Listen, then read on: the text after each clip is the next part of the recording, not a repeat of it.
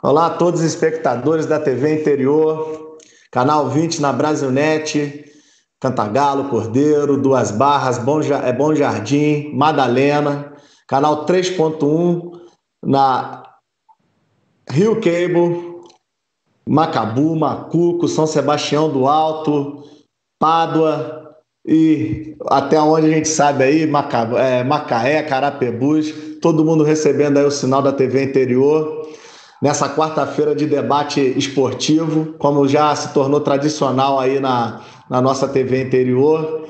E graças a Deus a gente sempre recebendo feras.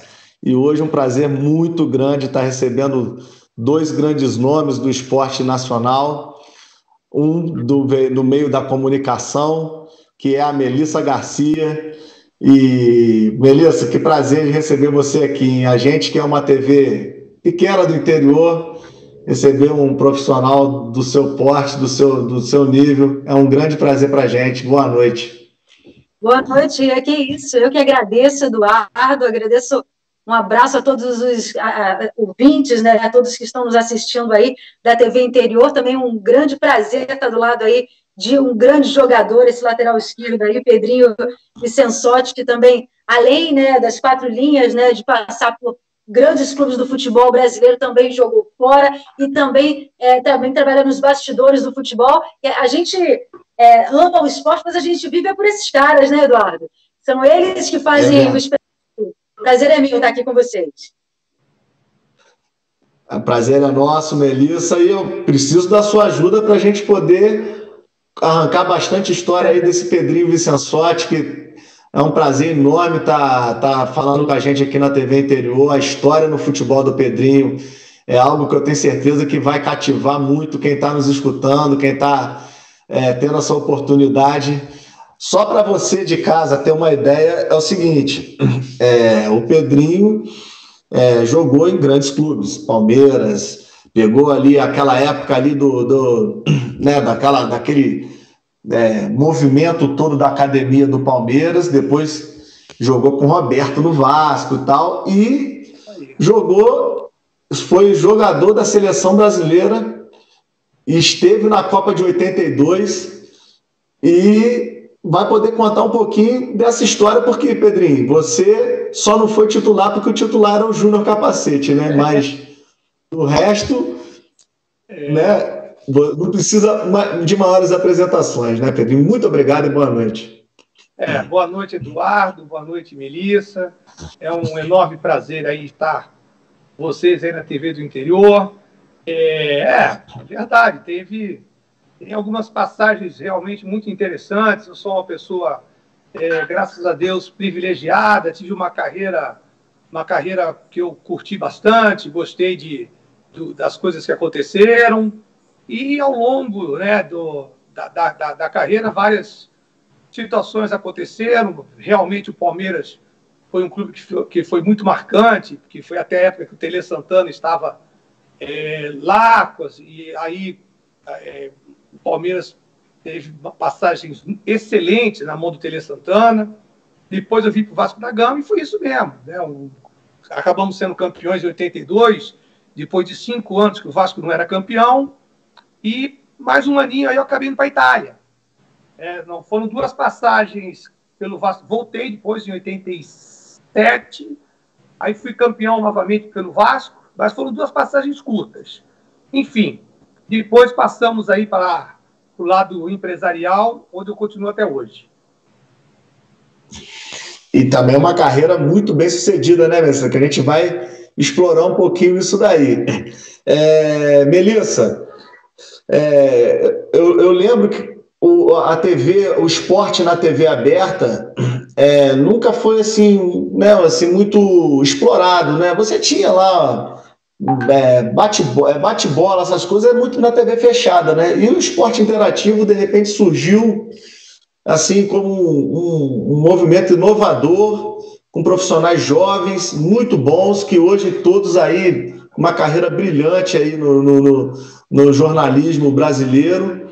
E eu queria que você falasse um pouquinho como é que foi essa experiência no esporte interativo, esse, né, a gente lembra perfeitamente aí pô, de grandes debates, você sempre muito incisiva, participando, botando pilha.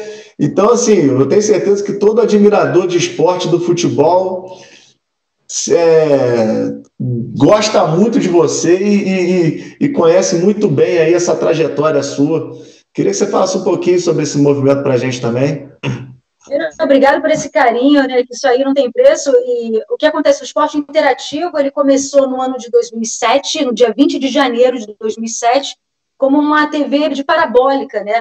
Um canal aberto, naturalmente, né? A gente estava, como você mesmo disse, acostumado com a TV fechada, com alguns canais que hoje estão aí, Sport TV, né? ESPN, onde, e aí a gente tinha essa, esse alcance no interior, né? Do Brasil e para pessoas muito mais simples, né, é, pra, pra, na verdade, a maior faixa da, da, população brasileira, que só tinha um parabólica, né, então era muito, era muito especial esse carinho, a TV foi se construindo, né, ela criou, foram 10 anos de TV Esporte Interativo, a vanguarda do esporte interativo principalmente ficou nas mídias sociais, na internet, né, ah, até hoje, hoje você tem o esporte interativo pelas plataformas da internet, né? Você não tem mais a televisão fixa, mas acompanhei todo o processo, né? Da parabólica entrada, né? Na TV fechada, né? É, então, é, foi realmente, conheci muitos jovens talentos, né? A gente, todo mundo entrava como estagiário, todo mundo tinha é, muita opinião, era muito, muito legal. Foi muito, muito expressivo, foi muito especial, foi um momento único, e toda essa trajetória foi muito inovador. E o mais interessante é que a gente acompanhou essa mudança. Hoje a gente está vivendo, né, o Pedrinho também queria muito, tem um monte de pergunta aí para ele, tá, Eduardo, para fazer.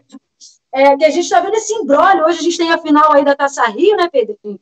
Ah, é. e agora a gente, é. até, até agora a gente estava acompanhando as notícias, né? O que, que vai acontecer? Se vai transmitir na Flá TV, na, na, TV, na TV Flu, que vai ser a primeira transmissão mandante.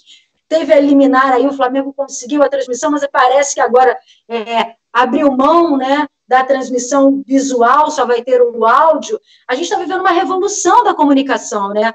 E essa trajetória voltando interativo foi uma TV que teve um pouco dessa cara, foi uma TV nesse aspecto muito revolucionária, que começou pequenininha, né, lá no interior, nas parabólicas, e foi crescendo, chegou a fechar com a Tânia, que é um grande grupo, né, conquistou a Liga dos Campeões da Europa, é, e, infelizmente, não continua como televisão, mas tem as suas plataformas aí pela internet.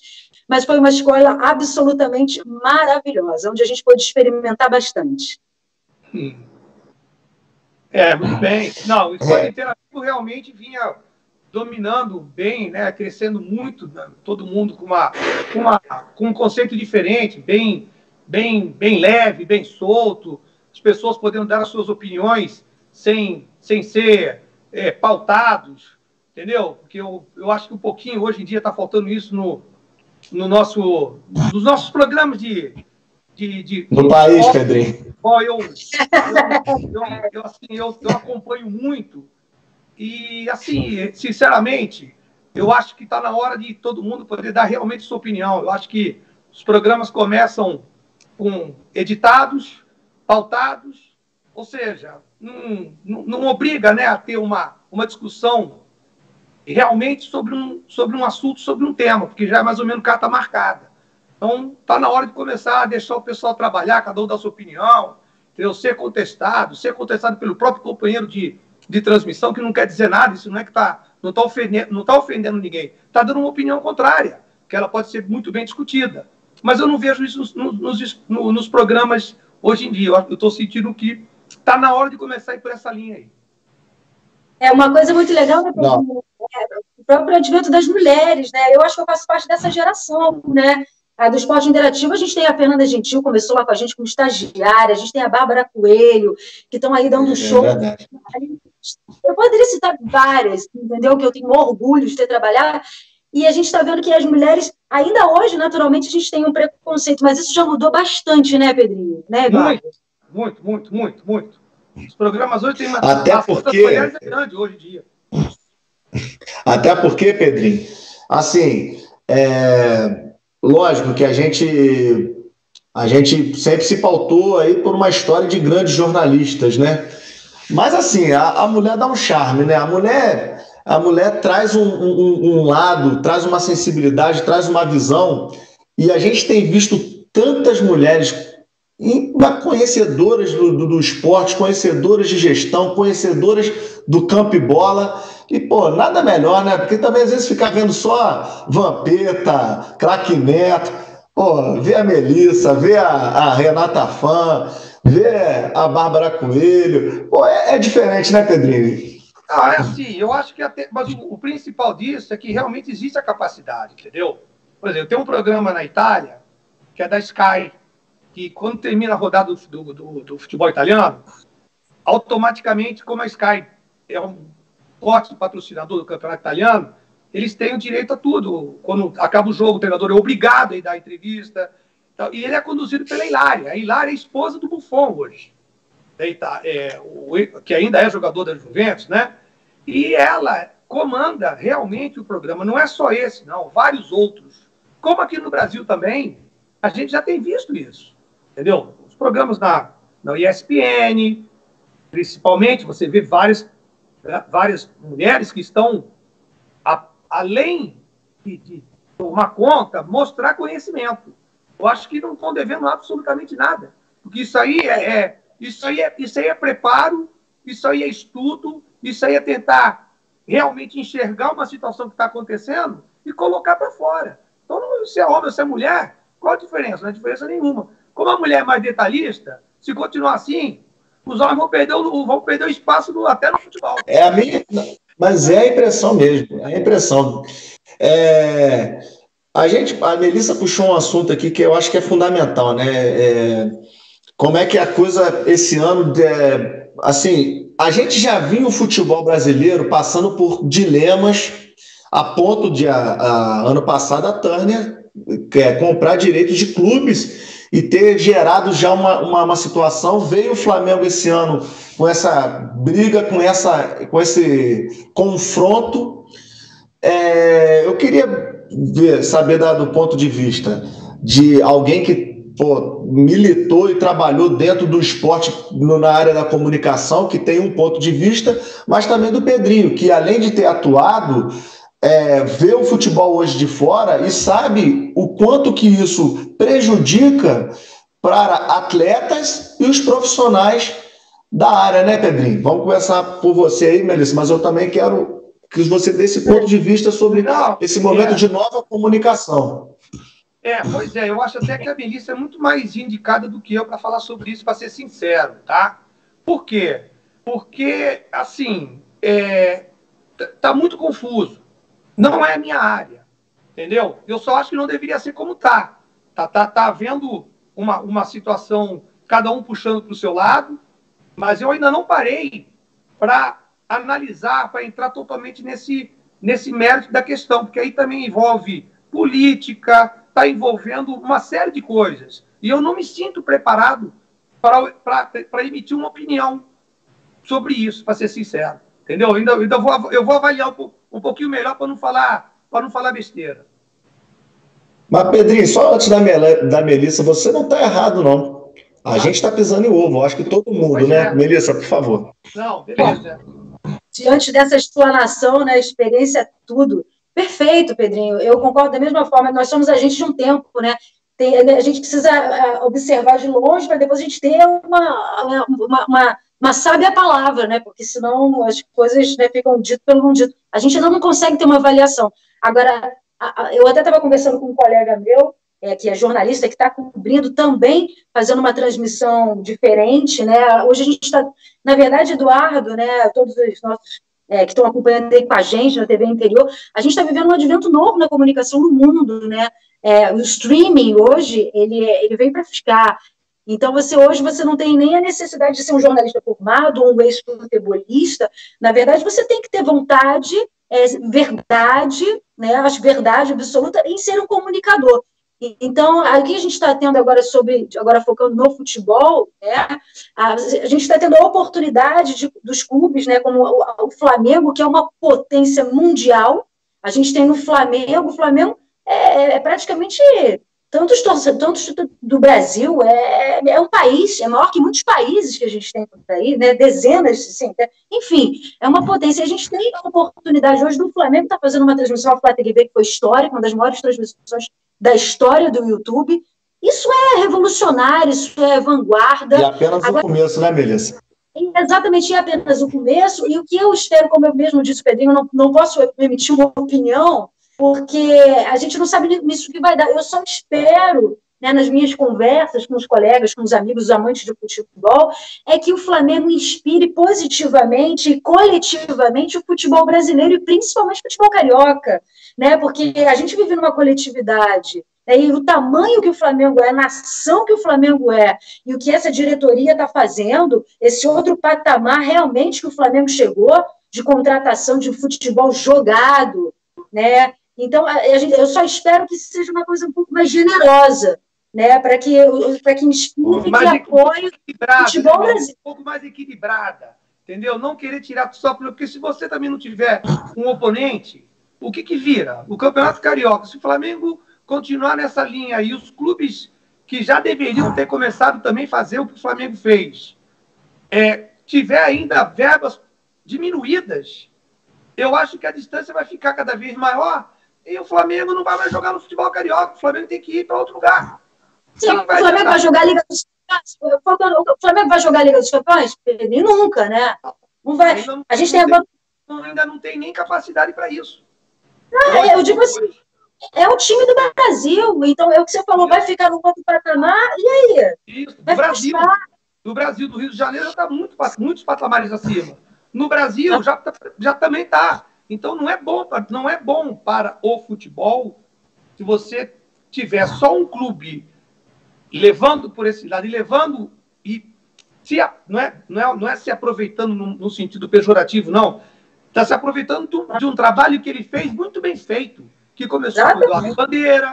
O Eduardo Bandeira teve, ele teve a, a, a, a humildade de falar que o Flamengo não podia contratar porque não tinha dinheiro no primeiro ano que ia ter que pagar dívida, que no segundo ano poderia Padeceu. um pouquinho, e que no terceiro ano ele começou a. Quer dizer, rapidamente, em quatro, cinco anos, o Flamengo saiu de um patamar que era igual do Vasco, era igual do, era igual de todo mundo. E hoje está no outro. Então, os outros clubes também teriam que começar a fazer isso. Vai levar quanto? Os mesmos três, quatro anos que o Flamengo levou. Que o Flamengo, o Vasco é forte, o Fluminense é forte, o Botafogo é forte. Só que alguém tem que começar. Se, se, se nesses clubes ninguém fizer o que o Eduardo Bandeira fez, vai demorar para chegar lá. Ou se chegar, né? Se chegar, se piorar. E, gente, e, agora a gente está com esse advento, quer dizer, muitos clubes podem se capitalizar de várias formas, né? O Flamengo está inspirando, né? É, bom, o que, o que, eu espero de todo o coração é que é, é, seja realmente uma revolução e que, e que, seja uma revolução conjunta, né? Porque o futebol brasileiro merece um espaço é, de, uma, de, uma, de, uma, de uma coletividade. Não, não dá para a gente estão como baixo da gamba, o meu Botafogo, pô, o meu Botafogo, quanto tempo passando aí com necessidade, você vê Paulo Autuori, um gigante, né, o nosso grande, você só tem um técnico, você tem jogadores, é, né, de uma, não, você não tem como contratar, não tem dinheiro, como é que você vai competir sem contratação? Um técnico sozinho não faz milagre, né, Pedrinho? Não, Isso. não, não, claro que não. Óbvio que não. Tem que ter e tem um aspecto, na retaguarda, tem que ter uma retaguarda profissional. Um sozinho não consegue, entendeu? O Brasil o Brasil está muito atrás ainda, infelizmente. Infelizmente, o Brasil está tá indo atrás do, do, do da Europa. Está ficando cada vez mais, a distância está aumentando. Eu, eu, queria fazer uma pergunta, Eduardo, se você me permitir, para o Pedrinho. Por favor, por favor, vá lá. Pedrinho, sobre o futebol italiano. Você né, jogou no Cagliari e depois, como Não, você mesmo... eu joguei no Catania, Melissa. No Catania, perdão. Isso. perdão. É. É, você jogou no Catania e você pegou o, o, auge do futebol italiano, que era o auge do futebol mundial, né, Vamos combinar, né? Sim, sim. E, e, a gente teve um momento do futebol italiano, há poucos anos, né, que deu uma baixa, o futebol inglês estava é, ali na, na, no auge, e você, a, a gente vê a Juventus pegando o Cristiano Ronaldo, é, Buffon de novo, a gente teve agora um clássico aí que foi de tirar o chapéu ontem, ontem, ontem, né? É, Juventus. Mila, e, Mila. E jogar. Que, que, Que coisa, que jogar. E aí me deu um lápis, eu falei, pô, cara, que saudade do futebol italiano daquele Muito. nível. Tá voltando, Pedrinho? Tá, tá. O futebol italiano é muito tático. Né? Ele sempre foi muito tático, entendeu, Melissa? O, o, ele é pautado na parte tática. Lá, lá o, o, um treinador e realmente trabalha a, partida, a próxima partida, exatamente como o adversário joga, como que ele vai poder neutralizar. Cada um tem seu movimento que tem que ser, tem que ser um mecanismo dentro do, dentro do jogo não saem, eles não saem da linha deles. Eles são é, é um país que, que tem, até porque todos lá, agora aqui no Brasil, nossos treinadores estão sendo obrigados a fazer o curso de treinador. Pô, na Itália, 50 anos existe o curso de treinador. Quer dizer, como é que um cara acaba de jogar bola, era jogador de futebol e virou técnico? Não pode. Entendeu? Eu não seria um técnico. Eu não sei se eu ia conseguir enxergar do banco o que estava acontecendo durante o jogo. Acho que não. Entendeu? Quer dizer. E gestão de pessoas, né, Pedrinho? Teria que, teria que estudar. Teria que entrar numa escola. Você tem que fazer. aprender sistemas táticos, como que você compete, como é que você muda durante o jogo, se você está encontrando uma dificuldade durante o jogo. Quer dizer, existe um curso para isso. E os, e os treinadores brasileiros começaram a fazer agora. Então, quando eu escuto, quando eu escuto que um jogador do Flamengo, vou dar um exemplo do Flamengo, tá? E o Rodrigo Caio, isso eu ouvi. Depois de dois, três meses que ele trabalhou com o Jorge Jesus, ele falou assim que ele aprendeu coisas que ele nunca tinha aprendido no futebol brasileiro. Isso é uma vergonha para gente. Entendeu? Isso é uma vergonha. Porque não, vou, não vamos nem enumerar quantos treinadores de ponta trabalhou com o Rodrigo Caio. Não, não quero nem entrar nessa questão. Entendeu? Para ele falar isso, e outra, outro exemplo que eu dou de pessoas que pensam nisso, isso é muito importante que o futebol brasileiro tem que estar atento a isso. O Rogério Ceni, ok? O Rogério Ceni, quando acabou de parar de jogar futebol, ele não sabia o que ia fazer. Ele, ele declarou: não sei se eu vou ser isso ou você aquilo. Aí ele falou assim: tentou começar a ser, falou, talvez treinador de futebol. Aí, quando o, foi o Osório, se eu não me engano, que foi para o São Paulo. Osório. Acho que foi o Osório. Não quero, não quero fazer confusão, mas eu lembro exatamente que eu, eu lembro exatamente que o Rogério Ceni falou. Ele falou. Foi Osório. Três meses depois que ele trabalhou com esse treinador, provavelmente foi o Osório. Ele falou assim: Eu percebi que eu não estou minimamente preparado para ser treinador. Então, gente, o Rogério Ceni parou com quase 40 anos. Quantos treinadores brasileiros de ponta treinaram o Rogério Ceni? ele ficou três meses com um treinador e falou assim: não estou preparado para ser treinador. Que tu, ou seja, tudo que ele fez na carreira inteira não tinha nada a ver com tática que o treinador colocava para dentro de campo. Saiu, foi fazer o curso lá fora, entendeu? E tá aí. Eu tô com o telefone aqui. Trouxe, o, trouxe, o, trouxe, um, é, então, trouxe assim, um, profissional do, trouxe um profissional do Liverpool, né, Pedrinho? Exatamente. Trouxe bagagem com ele, trouxe Exatamente. preparação, trouxe visão Exatamente. europeia para lidar com ele. Exatamente. E nós estamos falando, por exemplo, tudo, o Jorge Pedrinho. Jesus aí, fez a diferença. Mas o Jorge Jesus também não é o treinador de ponta na Europa, não. Pois é, né? Que... Pois é. Então, Ô, beleza, beleza. Deu tudo certo, o time é bom, o Flamengo deu, deu suporte. Vamos embora, vamos. Tomara que dê certo, né? Pedrinho, Melissa, deixa eu só mandar um alô aqui, porque a galera tá gostando do papo. É, o professor Maurélio Roque está dando parabéns pelo trabalho. O Matheus Couto também está tá dando parabenizando. O Ayrton Miguel, que é treinador aqui em Cantagalo, que faz um trabalho muito bonito com as crianças, falou que, infelizmente, devido à rivalidade, que é maior do que os interesses comuns, que ele acha difícil qualquer ação que envolva os quatro grandes do clube.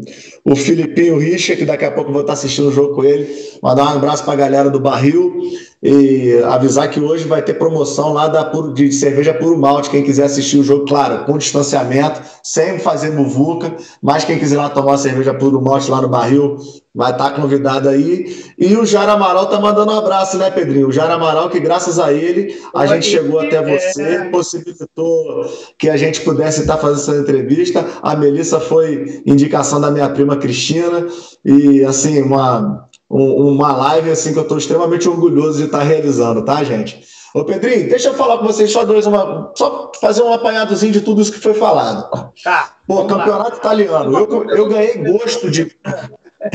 Ô Pedrinho, eu ganhei gosto de ver futebol assistindo o Napoli. Foi, o primeiro, foi a minha primeira grande paixão. Foi o Napoli de Maradona, careca e alemão. E naquela época, o que era o futebol italiano é o que é o futebol inglês hoje. Você tinha o Milan com Van Basten, Gullit e, e Rijkaard, você tinha a Juventus com Platini terminando a carreira, o Zico passou por lá, você, o Júnior. Pô, olha que categoria, né? E a gente vê hoje o campeonato. Rumenig, Baresi, Maldini, pelo amor de Deus, eu tô arrepiado só de falar aqui. E, e, e, e, e você vê que o futebol italiano entrou num ostracismo lamentável. E o futebol brasileiro, estou querendo colocar isso para vocês, está indo numa direção e eu acho que o principal quesito para transformar o, futebol brasileiro que está transformando é o calendário. Eu acho que só para finalizar meu ponto de vista, para deixar na mão de vocês aí para vocês comentarem, que esse, esse, para mim não está tendo nenhuma briga entre Globo e Flamengo. Para mim os dois chegaram à mesma conclusão, que não dá mais para sustentar esse calendário e eles estão implodindo mesmo a federação. Essa é a minha, essa é a minha impressão.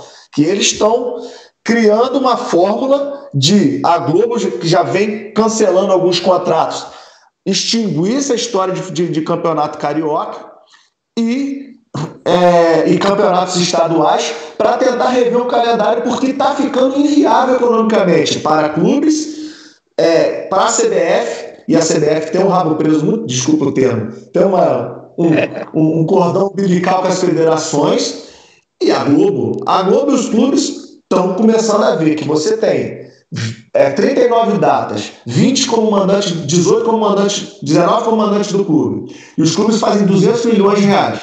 No Carioca, nos, na, nos estaduais, com 10 datas, você consegue repassar 18, 20 e tá essa choradeira toda. Então, ou seja, queria que você só fizesse esse apanhado todo aí. Pô, você pega um campeonato italiano que Pô, foi lá embaixo, está tentando voltar. O Campeonato Brasileiro e a seleção brasileira indo num caminho perigoso. Então, eu queria jogar isso aí para vocês poderem debater um pouquinho.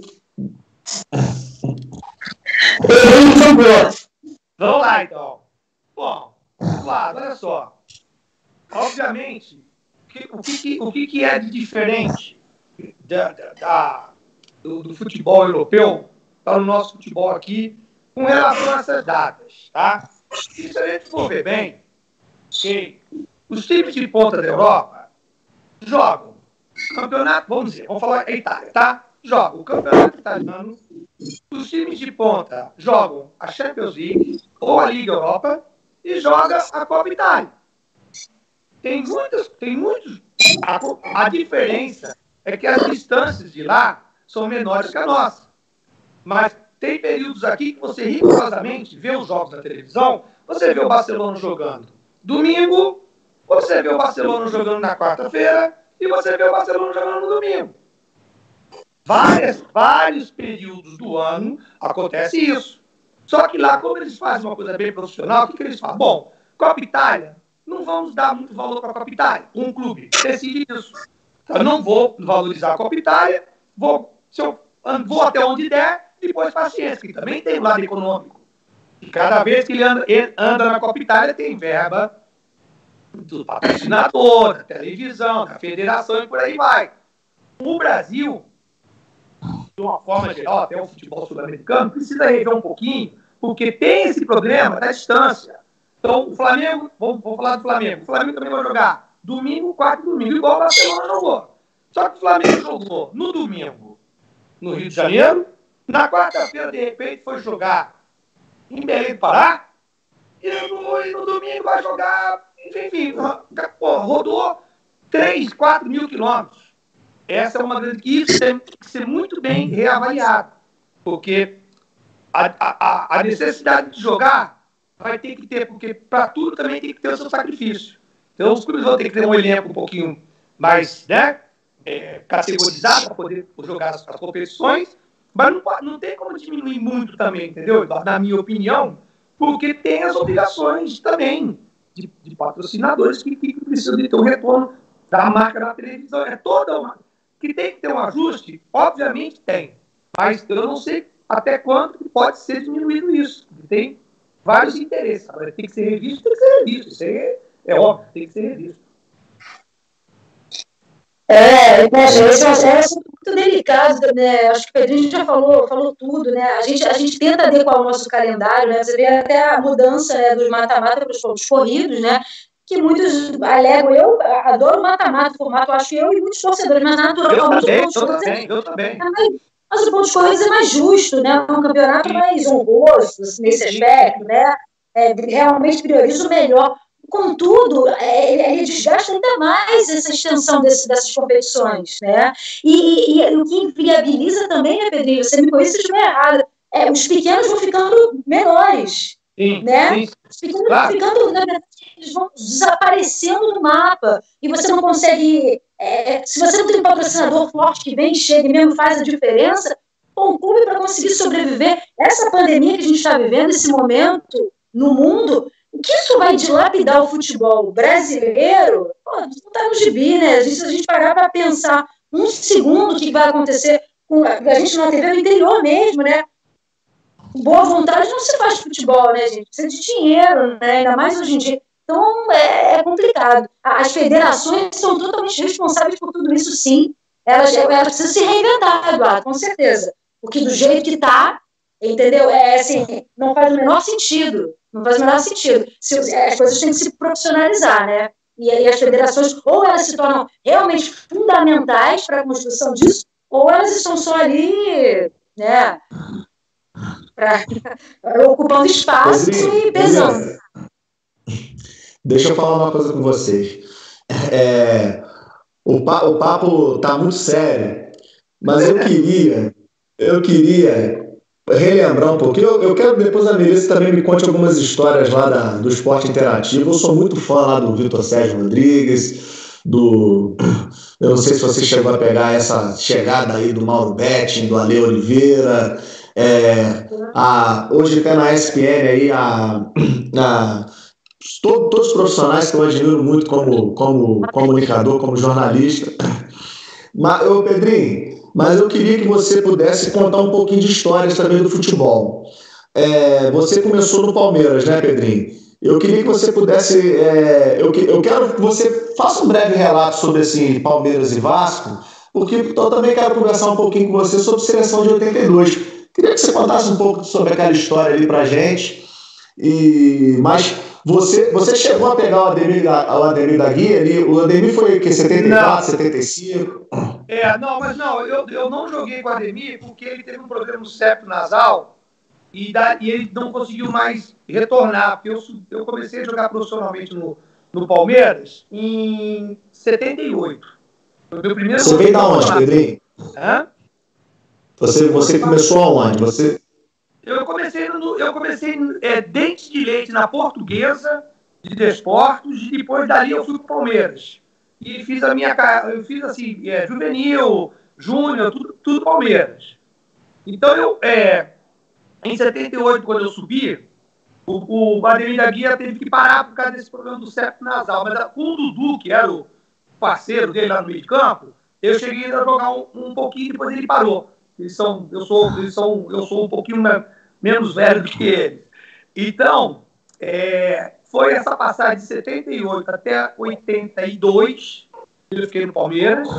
Tivemos passagens maravilhosas, tivemos um, um, campeonato brasileiro que nós fomos eliminados na, na semifinal em 79 pelo, com o Internacional de Porto Alegre, com, com o Falcão, é, aqui, aquele, aquele time Valdomiro, Caçapava, entendeu? Carpejano estava?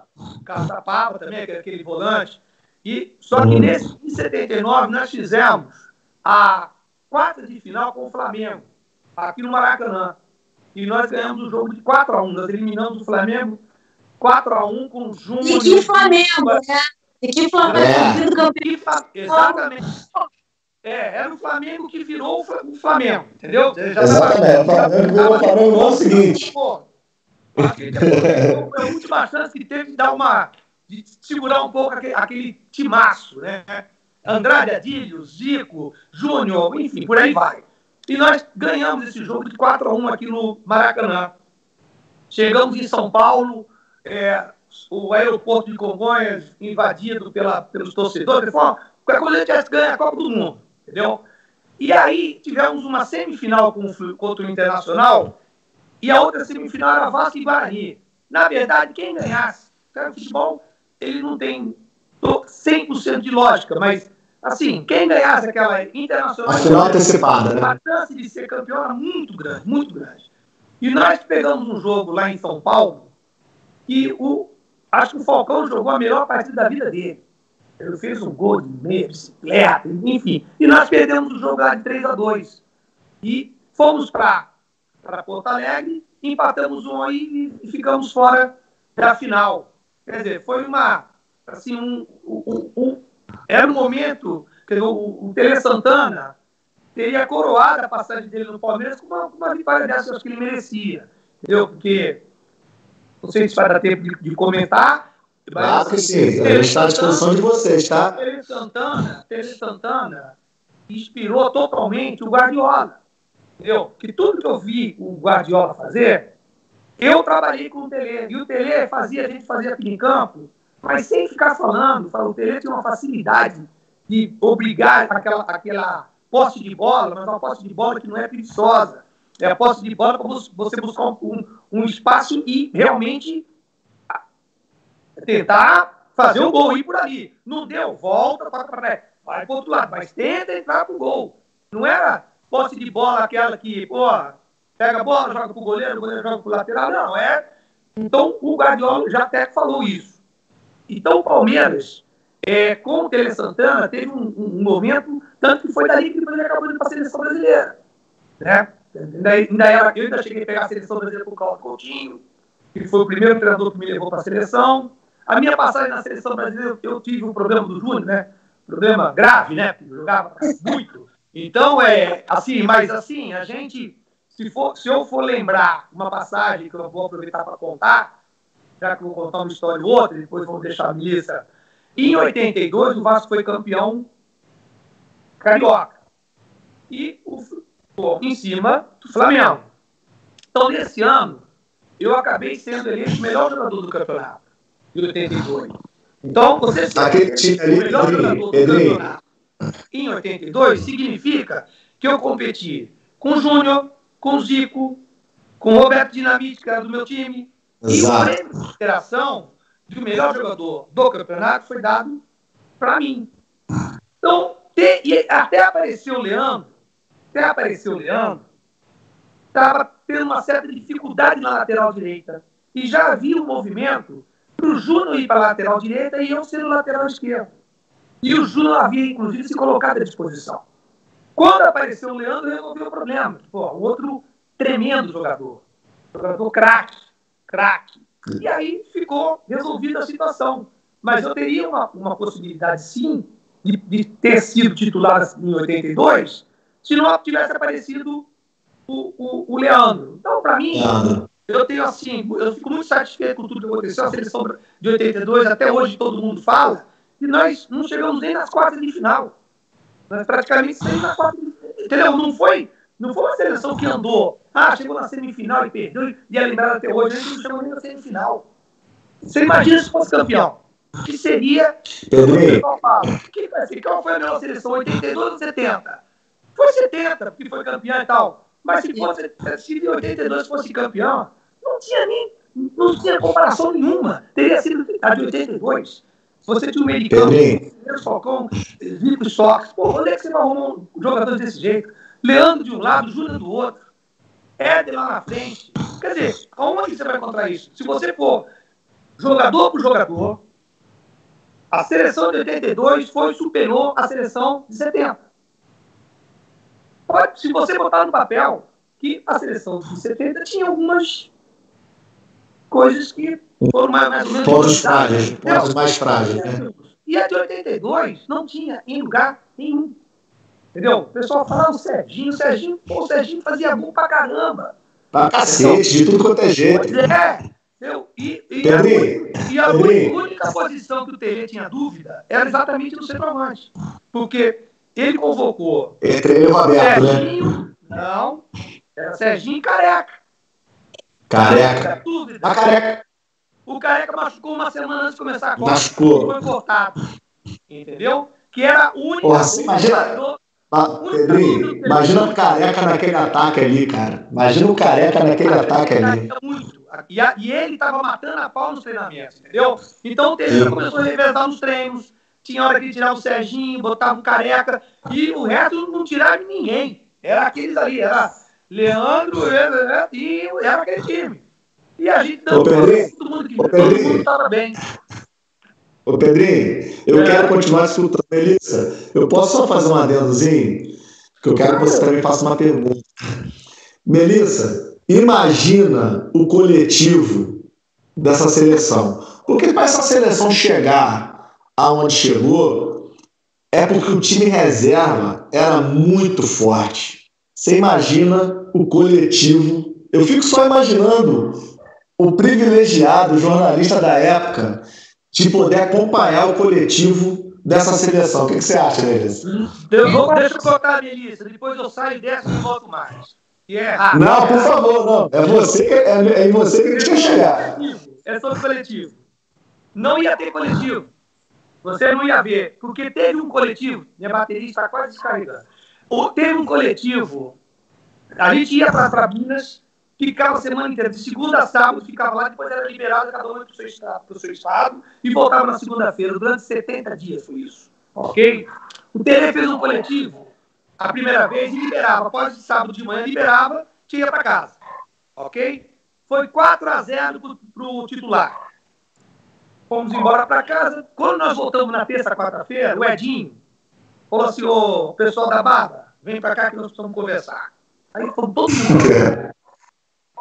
Eu não vim aqui passar vergonha, papapá, papapá, que é isso, tomou de 4x0, papapá, e ficou entre a gente. No outro sábado, coletivo de novo. Ninguém sabia nada. Nós ganhamos de 4x1 o coletivo. Nunca mais o coletivo. Nunca mais.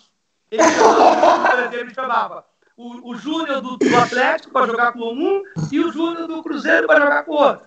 Lá na Europa, a mesma coisa. Aí um time para jogar com um, outro time para jogar com o outro. Acabou o coletivo o que era, seria realmente uma coisa muito difícil. Eu contei. Pode, você não pode fazer isso, Tereza. Ele foi lá.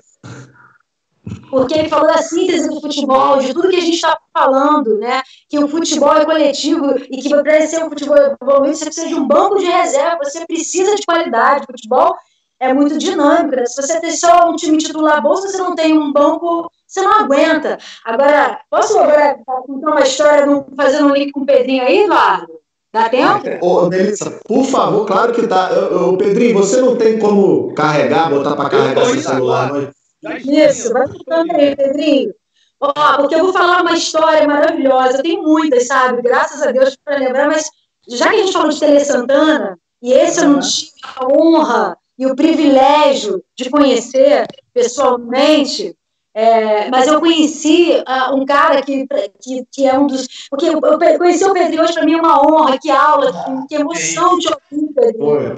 Sério, isso é, isso é tudo de bom para um jornalista, para um apaixonado por esporte, seja qual for o esporte, né, não só o futebol.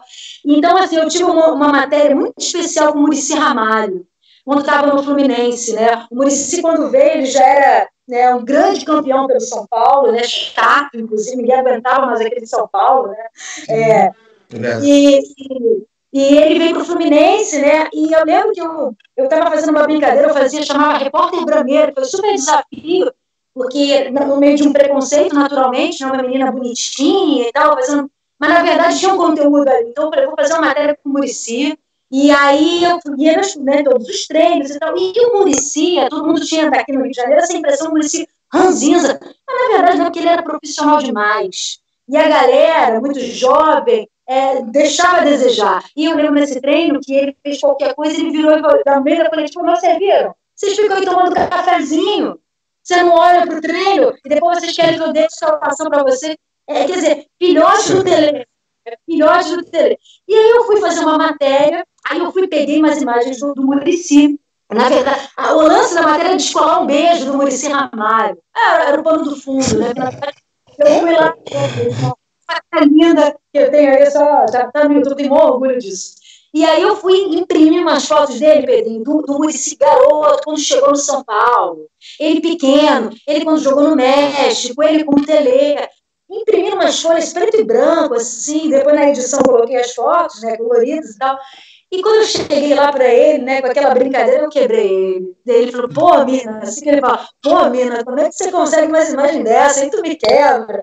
E ele fala, é, e, e, e, aí, ali, é com esses caras que a gente aprende que é futebol. É a oportunidade do Zico, que hoje é um amigo que eu tenho, que eu trabalho todo ano fazendo a Copa da Amizade Brasil-Japão com as crianças, né, que é, é do futebol. É, são esses grandes jogadores, é essa a qualidade do futebol, uma maturidade do futebol, né, onde o futebol brasileiro é, era o que sempre foi, e que mostrou para o mundo, né, que a gente precisa voltar nessa humildade, nessa coletividade. Então, o Muricy, esse ano que ele foi campeão pelo, pelo Fluminense, eu tive essa oportunidade de fazer essa matéria para mim histórica, e ele teve aquele sonho ontológico com o Tele Santana, você lembra disso, Pedrinho? É, não, dias antes do título, dias antes do título. Dessa, eu lembro dessa reportagem. O, o Muricy sonhou com o Tele Santana. Que, né, né, que o Tele Santana meio que falava, vai, toma, e ele foi campeão. E aí me fez lembrar, porque o Tele Santana, o Muricy Ramalho, é, quando a gente estava falando de técnicos no Brasil, né? A gente tem técnicos incríveis, mas é porque o Brasil é um país sem memória, um país sem memória, um país sem história, né, Pedrinho? E é isso que a gente tem que falar, né? Que as instituições valorizem o nosso futebol, a nossa história. Ouvir você falar da tua, da, tua, da tua carreira, a alegria, foi a honra de jogar com os melhores, te faz sem dúvida, um dos maiores do futebol. É maravilhoso ouvir isso, cara. Que prazer. Deve ter sido difícil, né? Deve ter sido difícil, né? Não, assim, pô, foi. Eu, eu tô comentando hoje com vocês, é, porque eu não, eu sinceramente, se eu falar para vocês hoje que eu não lembro que eu fui um jogador de futebol, eu, porque eu, hoje eu me, eu, graças a Deus, eu me realizei com a minha nova profissão. Só que eu fui muito, muito realizado como jogador de futebol. Mas, mas eu, não, eu hoje não, eu não, às vezes eu não lembro que eu fui jogador de futebol. Para ser sincero para vocês, para ser sincero, eu às vezes eu não lembro, porque eu acho que assim a vida é feita de umas. Agora, obviamente que tudo isso tô, eu tô porque eu tô assim meio que conversando com vocês é uma conversa que está sendo extremamente é, sadia, né? Bem, bem, como se estivesse a gente conversando no quintal de casa. Então, é, eu tô, eu tô relatando algumas coisas porque a ocasião está permitindo, entendeu? Então, é, eu acho legal. Teria mais 300 mil histórias para contar, porque eu nem lembrava mais. Então, eu conversar aqui, acaba vindo uma outra. Mas quando você fala de Guardiola, se inspirando no Tele Santana, e aí a gente vê um jogador jovem, como o Rodrigo falando que né, do, do, Jorge Jesus. A gente tem que ter um pouco mais de memória, um pouco mais de respeito né, com a nossa história, né, Pedrinho? Com, com certeza, com certeza, com certeza. O futebol brasileiro, é, a, a gente, a memória não é o nosso forte, não. Eu acho que o europeu tem muito mais, né, é aquela, aquela coisa de reconhecer, mas nós estamos aqui também para tentar mudar um pouquinho, né? Somos nós que vamos mudar essa nova geração que está vindo aí, né? Que valoriza muito mais gente. É que é cultural, né? É cultural, né, Melissa Pedrinho? A gente fica assim, se perguntando assim, por que, que, por que, que às vezes a gente se perde em decisões e escolhas? Porque é cultural. E aí entra essa questão de, de as pessoas não valorizarem é, histórias e personagens, por exemplo, como você, Pedrinho, como você, Melissa, que tem histórias e tem bagagem para poder inspirar muitas pessoas, né? E vou te falar uma coisa é, muito interessante no nosso assunto, porque é, a gente vê uma nova geração aí enorme, né? E a prioridade disso, de ter a questão, um compromisso com a memória, isso é um problema do Brasil, um Brasil que não investe em educação, e naturalmente isso se vai para tudo. Mas a gente tem que, que, que, que, contar melhor a história do nosso futebol, senão a gente vai perdê-la. Vamos perdê-la. E a história do futebol brasileiro. Desconstruir, né? Que a gente Desconstrói, tem essa... né, Melissa? Exatamente. Desconstrói, porque, porque se você não está pegando os bons exemplos e os maus, avaliando e construindo, você, a gente está vendo exatamente a desconstrução. E até assim, puxando um pouquinho da, da sardinha para o nosso trabalho da TV interior, a gente está tão orgulhoso de estar tá realizando momentos como esse. Nós tivemos a oportunidade de entrevistar o Edu, o Rondinelli, é, o Gotardo, o Mauro Galvão. E o que, que acontece? Isso tudo está registrado ali no nosso YouTube, está no nosso Facebook. É, o, é o, humildemente um pouquinho da nossa contribuição para a construção de conteúdo, de consciente, de história, para ficar registrado. E aí torcer para que as gerações olhem para isso com valor, com, com, com, com desejo de, de aprender e querer tornar isso maior. Né? Desculpa fazer esse pequeno adendo aqui, esse desabafo. Que legal, e honrar a história desses grandes clubes. Você vê, é Pedrinho falando de Palmeiras, Vasco da Gama, porque assim, naturalmente, eu, eu já vi muito jogador, jogador, né? É botar uma camisa do, do glorioso Botafogo, de um Vasco da Gama, erguer uma camisa Poxa. dessa, botar, botar, essa camisa só assim, ah, eu vou, eu vou entrar aqui no Botafogo para poder pegar a camisa do, do maior ali e não respeitar a história de um clube, porque o próprio dirigente não respeita, que aí vem de lá de cima, os exemplos não se dão, né, Pedrinho? E aí vai se perdendo a essência.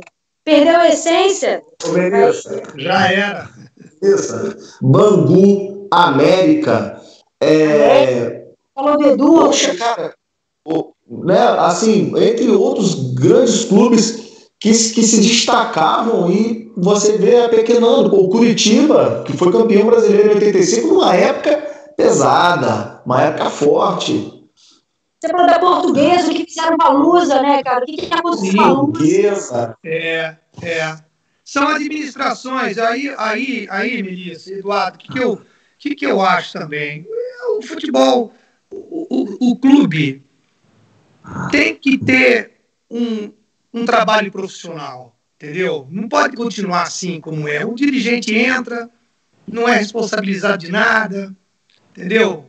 Mas é, é, aí quando tem, quando tem a transição, aí o cara que sai é, não entrega o balanço, aí o cara que entra fala, e agora, mas cadê o balanço? Como é que eu faço? Como é que eu faço? O que, eu, o que eu tenho pela frente?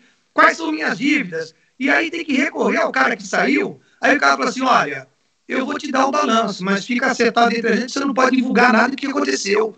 E o cara é obrigado a aceitar, porque se não aceitar, não sabe o que está acontecendo. Então, ou seja, isso não é profissionalismo. Entendeu? Você, você é, tem que. Ou vai exatamente para o dirigente profissional que busca. Vamos, vamos voltar para Flamengo Pô, o Flamengo fez em pouco tempo, em pouquíssimo tempo. Mudou do, o patamar absurdamente. Todo mundo tem que tentar fazer isso. Com seus erros, com seus acertos. Não é que o Flamengo está fazendo tudo certo, não. Por exemplo, eu, os cachorros estão latindo aqui, eu tive que trocar de lugar para poder carregar aqui, Eduardo. Tem problema? Ah, problema. Então, então, por exemplo, o Flamengo também erra. Por quê? É, como é que faz o contrato do, do, com o Jorge Jesus até o meio da temporada do ano que vem? Isso não é profissionalismo. Isso não é profissionalismo. Como é que você vai fazer? Você, como é que você vai chegar no meio do ano, no meio do campeonato de 2021, para saber se o teu treinador termina o campeonato ou não? Você tem que fazer o contrato até dezembro, meu amigo. Se você não quer aceitar, não treina o Flamengo.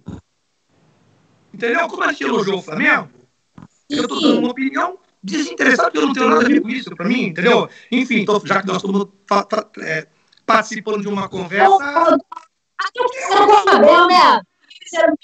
feio, né? O Abel merece ser respeitado também pela história que tem. Entre outras formas, não precisamos ser direto, mas é, né, é, é isso aí. Entendeu? É, pois é. Ô, Pedrinho, e, e aí você vê a fragilidade quando surgem rumores de um Benfica de destruído em vários programas políticos e você fica ali é, sem entender realmente se existe firmeza numa decisão, porque até agora, nesse exato momento, a gente não sabe se o Jorge Jesus acabando o jogo, ele vai pedir o chapéu. Eu não tenho essa convicção, ele pode terminar o, o jogo hoje e falar, gente, muito obrigado. Agora, é claro que o Brasil não está ajudando muito. Né, é. as pessoas tomarem uma decisão de pô, largar o conforto da Europa, de Portugal e de uma série de questões.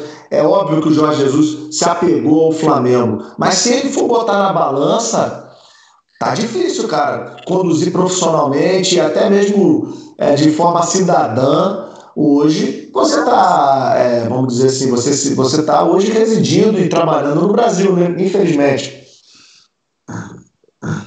É, mas eu acho que o Flamengo foi muito bom para o Jorge Jesus também, viu?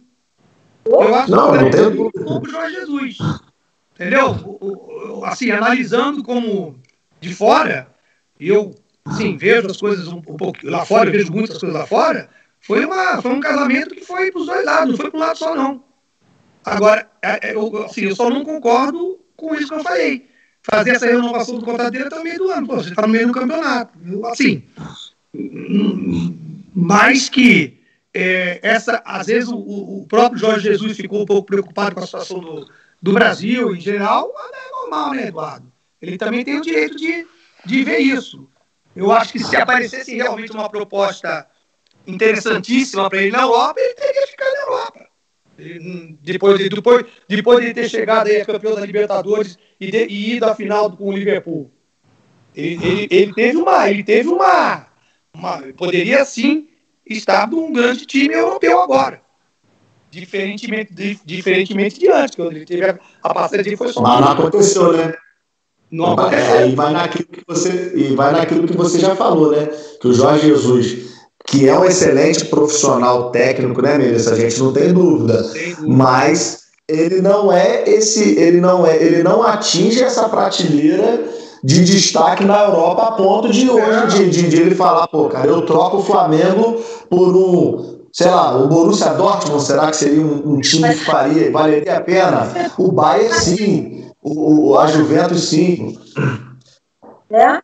O Pedrinho falou, o Flamengo fez muito bem Jorge Jesus, e ai dele, como disse Portugal, ai dele, largar o Flamengo para voltar para Portugal agora. Seria ridículo da parte dele, seria uma ofensa. Seria não, assim. Não acredito, não, não acredito, não. Agora não, agora não acredito. Não acredito que ele faria isso. Porque a gente tem o medo do Rio de Janeiro, do Brasil, que é essa loucura, politicamente falando mesmo, né? Não tem estrutura, a gente não sabe na saúde, não sabe nada, né, no país. É muita incerteza, né? É muita incerteza. Beleza? Esse projeto, essa torcida, essa diretoria, esse salário que ele está tendo, esse reconhecimento, para ir para o Benfica agora, não, não, ele fica mais aqui. Daqui, daqui sim ele sai melhor ainda. Aí para o Barcelona, para o futebol italiano, para onde ele quiser. É, não, que ele seja campeão do mundo com, com o Flamengo. Ô, ô Pedrinho, é, Melissa, deixa eu, deixa eu colocar uma questão aqui para você, Pedrinho. É, ah. Queria até, Melissa, Melissa, queria que você até complementasse, que você trouxe até essa informação antes de a gente entrar no ar, e eu, eu desconhecia, assim, é, eu sabia que o, que o Pedrinho ele tinha um lado empresarial muito forte, eu queria que você fizesse aquela pergunta que a gente, antes de entrar no ar, você abordou com o Pedrinho aí, porque eu achei muito interessante né, o, o, o trabalho que o Pedrinho realizou num período importante do Vasco, né? Você pode Exatamente. abordar esse assunto, por favor? Pedrinho, a gente estava falando dessa passagem, né, pelo Catania, no auge do futebol italiano, e logo depois você também começou, saiu do futebol como profissional jogador e foi para o lado empresarial o que já é uma coisa incrível, muitos jogadores de futebol não conseguem se reinventar, né? Você conseguiu, com certeza você foi um ícone nisso, um percussor, né? Que hoje a gente até deve ver muitos jogadores aí entrando no jornalismo, entrando como dirigentes ou técnicos e empresários, né? Você foi um dos primeiros, queria que você falasse sobre isso. É, e, e, e, os grandes nomes, né? A gente perguntei do Felipe, né? É, do, do Vasco, você citou vários. Quais os jogadores que você empresariou com sucesso e os de agora, por favor? Bom, vamos lá, Melissa. Enfim, é, a, a, carteira foi assim, ela foi bem, bem extensa, né? Eu, assim, eu, eu comecei meio que por acaso, que eu ainda não sabia o que eu iria fazer, quando eu resolvi parar de jogar futebol com 31 anos, bem, sem problema físico nenhum, porque eu queria realmente começar alguma coisa um pouco novo para poder, entendeu? Me, me mas eu não sabia o que eu seria. Tive até uma passagem com o Tele Santana, que eu me encontrei com ele em Copacabana um dia lá no posto 6, fechou o sinal, era ele. Eu já tinha acabado de anunciar que eu ia parar. Aí eu eu, ele me viu, aí eu falei, seu Tele, ele falou, e aí, como é que você tá? Enquanto abriu o sinal assim, falei, é, pois é, eu resolvi parar, talvez eu vá seguir o que o senhor faz aí, vou ver e tal. Falei, ah, se você quiser, vai lá no Flamengo que você pode ficar comigo. Quer dizer, esse convite maravilhoso dele. E eu falei, ah, vou ficar uns três meses aqui sem, sem para ver o que eu vou fazer da vida. E eu acabei fazendo uma. Fazendo. Eu fui intérprete de um. Eu tinha um, uma pessoa lá na Itália que, que fazia um pouco a minha parte lá de, de assessor de imprensa e tal. E Gerardo Landulfo, o nome dele. E aí o cara, ele me ligou. Falou, olha, Pedrinho, tem um empresário que está indo para o Brasil que precisa conversar com o Giovanni. E eu tinha acabado de parar, eu, eu tinha acabado de jogar com o Giovanni. Um mês atrás, um mês antes eu joguei com o Giovanni. Campos. Aí eu peguei, falei, não, pô, tudo bem, eu recebo o cara aqui, não tem problema nenhum, não. E fui traduzir. E o cara veio aqui e acabou fechando um contrato de chuteira com o Giovanni e tal, e bum, bum, bum. E dali, eu tinha acabado de parar, eu fui no casamento do Romário, com a Mônica. E peguei pro Romário e falei, Romário, você tá indo, ele tava indo pro PSV, a Eindhoven. Eu falei, pô, você tá indo pra Europa, cara. E lá, porque na época eu tava lá na Itália ainda, não tinha muito esse negócio de agente, tava começando, entendeu? A gente, a gente se virava, fazia cada um fazia seu contrato, fazia, fazia os erros e os acertos sozinhos, né? E eu falei, ó, você vai ter que precisar de uma pessoa. E, porra, eu conheci um tal de Giovanni Branchini, que, porra, andou muito no meio empresarial. Falei, vou, você Vou falar para ele te procurar. E avisei o Branquini. Falei, Branquini, vai lá e tal, tal, tal. E o Branquini foi, fez um contrato com ele, tal, e já fez a negociação do Barcelona. E quando ele fez o contrato com, com, com o, o Romário, ele falou assim, pô, por que você não trabalha com isso? Pô, eu simplesmente dando o melhor jogador do mundo para ele. Porra, dando o melhor jogador do mundo para um empresário. E depois eu não sabia disso quando valia isso. Não tinha nem noção. E aí eu falei, pô, peraí. Aí veio aqui pro, pro Rio, me ligou, eu me falou, olha, eu acabei de renovar agora com, com o Barcelona e você vai ter tanto. Porra, aquele tanto talvez foi quase mais do que eu ganhei na minha carreira toda, que a gente não ganhava. Aquela carreira não ganhou dinheiro. Essa geração não ganhou dinheiro no futebol. Entendeu? Essa geração não ganhou, não ganhou, não ganhou. E aí eu falei, porra, e eu gostei daquilo. Então, dali, eu passei para ele Mazinho, é, Giovanni, que acabou indo para a Itália, Tafarel para o Parma, é, só, simplesmente esses, esses, jogadores aí. Lazzaroni com a Fiorentina.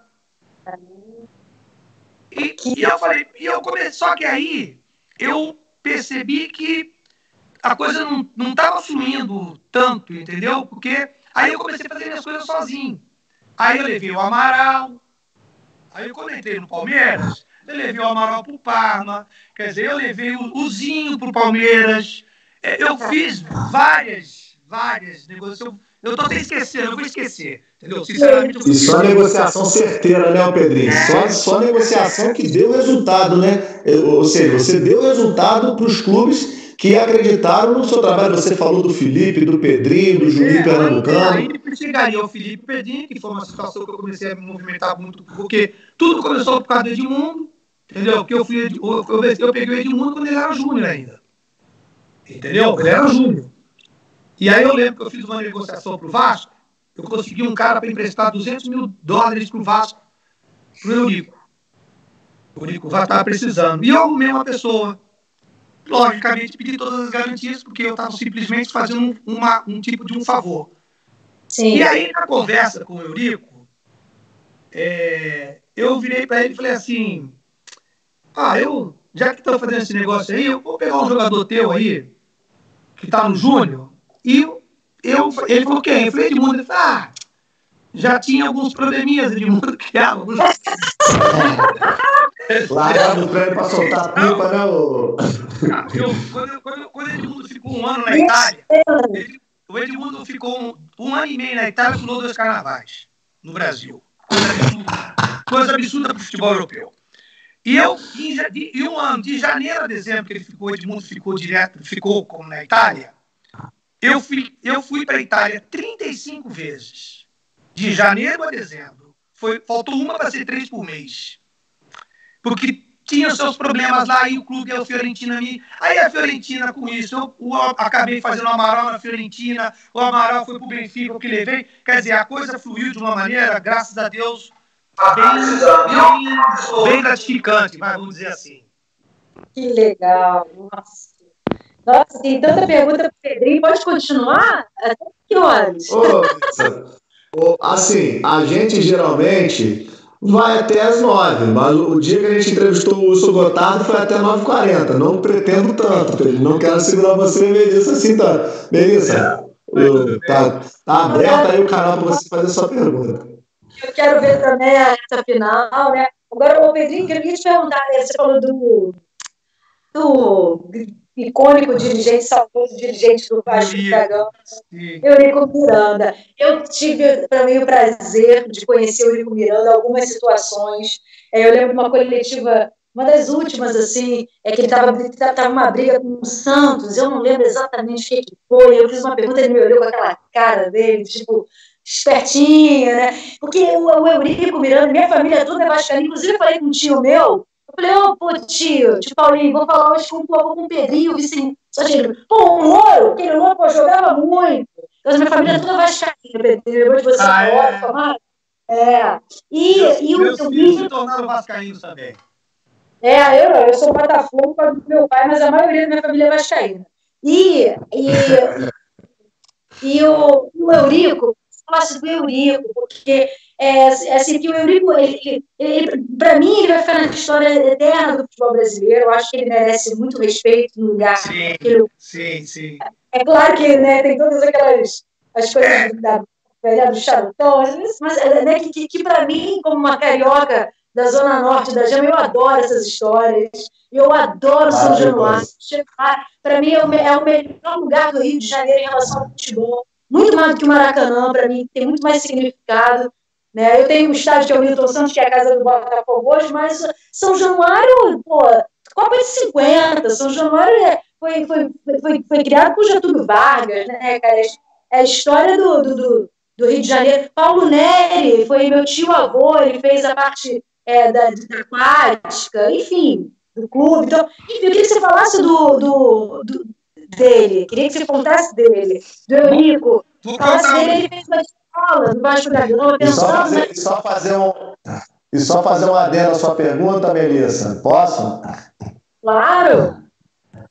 Porque, Pedrinho, pô, o Eurico não dá para contestar o, valor, o, o que ele fez pelo futebol desde da época que ele era é, que ele era é, o é, diretor de futebol, né, junto com o Calçade, foi fazendo, foi construindo uma história importante para o Vasco, mas parece que no final a política, aliado à idade, já uma certa falta de saúde, foi deixando, foi deixando o Eurico, é, foi levando o Eurico para um lado muito, muito triste, né? Que eu acho que ele não merecia ter terminado, é, ter, ter, ter entregado o processo todo de vida dele dedicado ao futebol, um pouco da maneira como foi. Desculpa, Melissa. É, assim, o que, que eu acho? Assim, o Eurico, claro, foi um grande dirigente, grande dirigente. É, teve os momentos em que os, os outros envolvimentos, porque você, eu lembro que todo mundo sempre falava a mesma coisa, né? Não, o Eurico é o seguinte, o Eurico se ele falar que ele vai fazer, ele faz, tal. E é a verdade. Eu, eu convivi com ele como jogador. Eu convivi com ele como jogador. E só que as coisas tomaram um vulto que às vezes a pessoa não conseguia depois. Né? O futebol foi crescendo de uma maneira meio desordenada, que ainda continua até hoje, infelizmente. E aí o cara que, por mais boa vontade que ele tivesse, ele não conseguia depois manter tudo como ele prometeu para todo mundo. Então, mas eu, vou, eu quero lembrar uma, uma passagem do, do Eurico que eu acho que a Melissa vai gostar. Aí o Edmundo estava na Fiorentina e resolveu que queria voltar para o Brasil. Eu falei, pelo amor de Deus, Edmundo, fica aqui. Você, você, você tem chance de ser o, o, indicado como um dos três melhores jogadores do mundo. Porque você está você tá fazendo a Fiorentina ser campeã. Se a Fiorentina for campeã, claro que o time era bom, tinha Rui Costa, tinha Batistuta, pô, tinha Torricelli, tinha Toldo, era um timaço. Mas o Edmundo desequilibrava, Edmundo desequilibrava. E aí eu tive uma conversa com ele um dia, falei assim, pô, Edmundo, mas, cara, lá em, na, na, em Firenze, falei, porra, cara, vamos lá, aguenta firme, você vai ter você vai ser um dos, eu tenho convicção que se a Fiorentina for campeã, você vai acabar sendo indicado nesse negócio que você está desequilibrando aqui. O futebol italiano estava ainda firme, né? Aí ele virou para mim e falou assim: então, mas e aí, se eu for indicado aí, o que que, que, que, acontece com isso? Eu falei, caraca, mano, a gente vai escolher o time que a gente quiser. Manchester City, United, Liverpool, Barcelona, vai ser fila. Ah, então eu vou continuar na Europa? Eu falei, vai. Ah, então eu não quero ser um dos melhores do mundo, não. Aí eu falei, ah, desisto. Caraca. Aí eu falei, bom, tá. Ô, ô Pedrinho, me, me, recorda só, isso foi em 96, depois que. Quando é que foi exatamente esse período? Em 97 ele foi artilheiro do brasileiro com aquele caminhão de gols que ele fez. Isso aí foi em 97. Não, jogou demais em 97. Acho que foi, foi 98, né? Depois que ele arrebentou em 97. O Edmundo era o melhor jogador do mundo naquela época.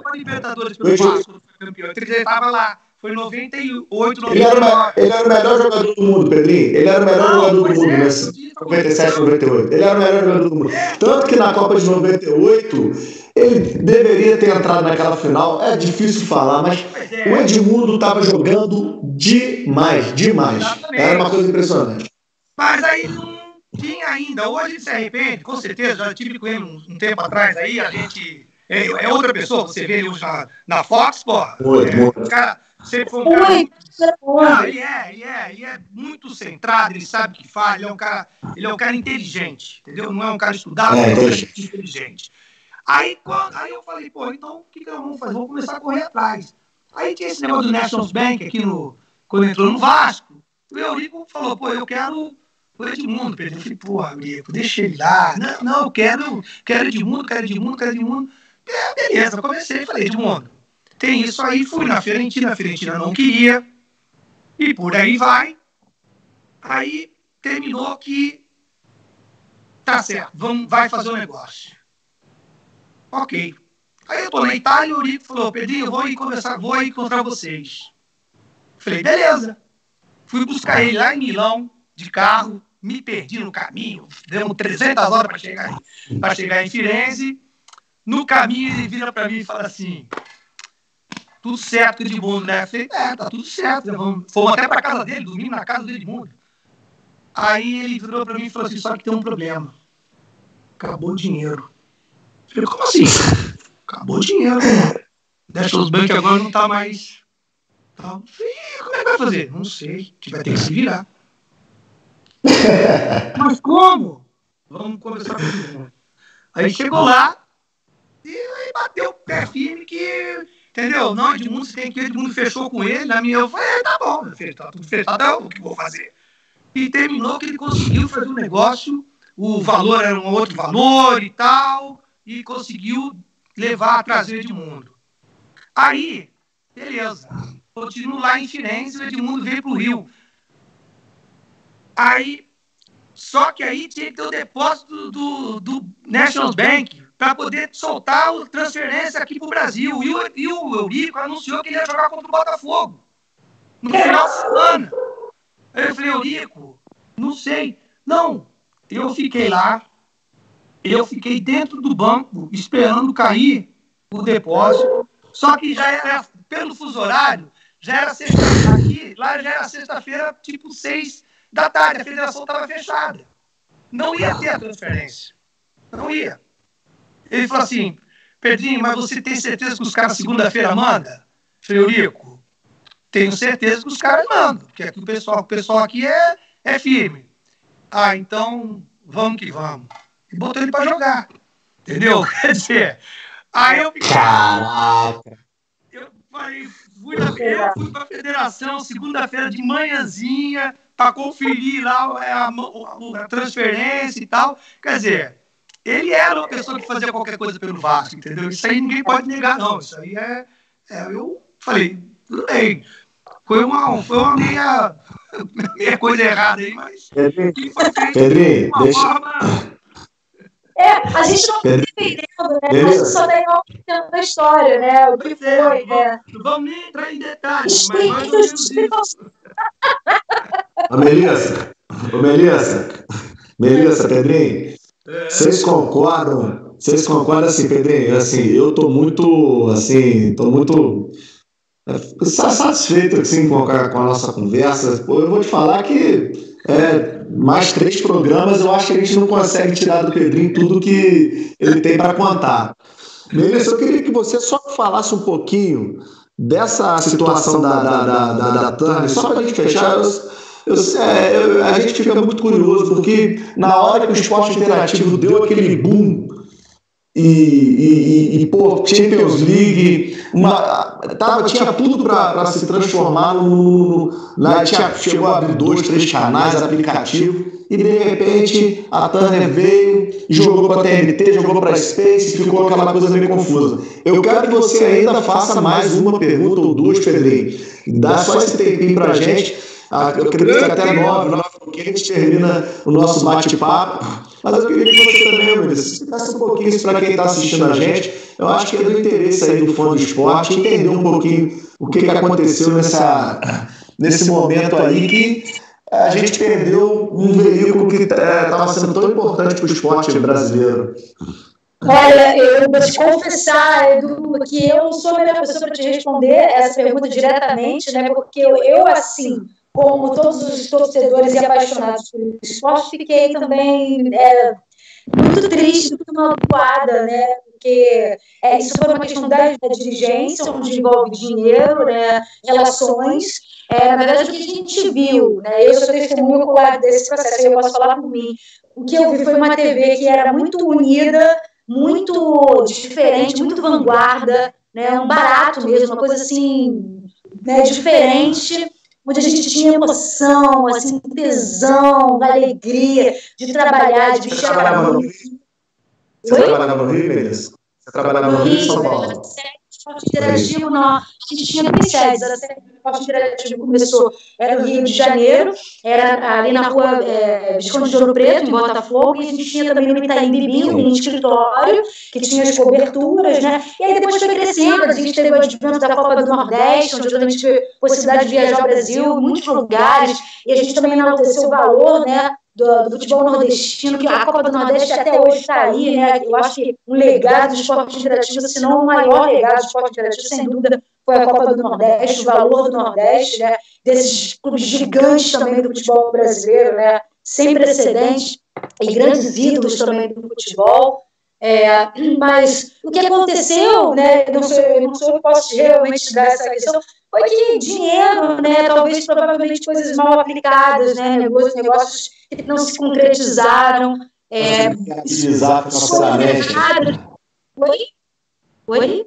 É, de repente não conseguiu viabilizar financeiramente, até por essa falta de, né, de, de, de, valorização que, infelizmente, os muitos profissionais e setores no Brasil vêm sofrendo, né? Eu, eu posso, assim, dizer de, cara, assim, eu mesmo, eu, eu ia completar 10 anos de empresa e eu fui embora sabe? Assim, eu fiquei, poxa, caramba, né? É, é o que não tem história, não tem memória, mas faz parte. Fui muito feliz, a gente foi muito feliz. E, e eu acho que faz parte também, quando o bolo cresce muito, o, o, o Pedrinho vai saber dizer, né? Dinheiro é fogo, poder é fogo, né, Pedrinho? Quando entra muito dinheiro, quando entra muito poder, é complicado segurar. Né? Ou, ou você, ou, a gente está falando até do Flamengo, né? Vamos voltar lá no início, né? É, quando você tem oportunidade de, de uma coisa ela, ela ficar uma coisa muito grande, ela pode ser nobre, ou você pode perder a mão daquilo ali, porque né, é difícil, é difícil. Às vezes é mais fácil ser feliz pobre, né? Do que ser feliz com muito dinheiro. Então, eu acho que a minha diretoria, com certeza, provavelmente, teve alguns problemas de administração, né? E que as escolhas talvez não tenham sido como eles queriam, ou talvez tenha sido essa história. No fundo, do esporte interativo não existe mais, é, teve uma demissão em massa, que foi logo, foi bem um pouco depois da minha demissão, né? Que foi muito mais triste, né? Eu até imagino, puxa, foram 250 funcionários, né? Jovens, cheios de esperança, né? Não embora, Então, assim, não foi um final legal, mas o esporte interativo está aí, né, nas plataformas você digitais. Mantém contato, você consegue manter um, um contato, um relacionamento? Todos, tem as portas abertas, onde eu passo, graças a Deus, isso aí é meu, que eu acredito nisso, né, Pedrinho? Acho que a vida é muito mais. É, eu, eu tenho amizade de todos, tenho uma e tenho fãs queridos de esporte interativo até hoje. Eu falo, pô, gente, para com isso, anos, anos, anos. Eu sou, Mas é muito eu sou, eu sou. Muito legal, que realmente esporte interativo. Mas é isso, eu acho que talvez é, foi com o braço né, na frente dos bois. Eu não sei te falar que realmente eu não sou um dirigente, né, não estava ali na, nas escolhas, mas que que fez história e faz história. E aí tá a Copa do Nordeste, que para mim é o maior legado do esporte interativo, sem dúvida.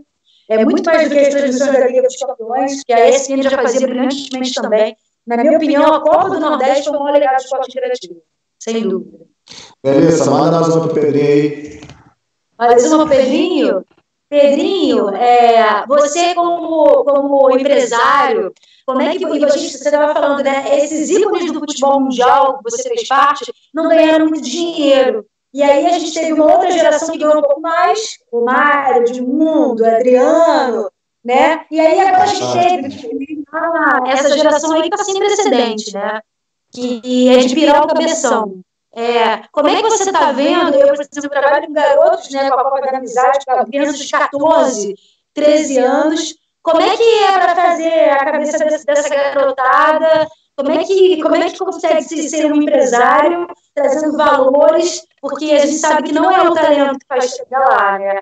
É, às vezes muito bem, é muito mais a sorte, um bom empresário. Eu, eu não sei.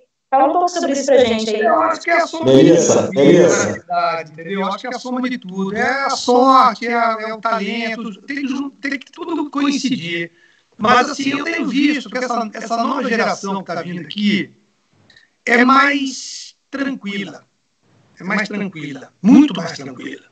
Se nós tivemos aí a geração dos bad boys, né? Que é a briga lá para saber quem fazia a merda maior.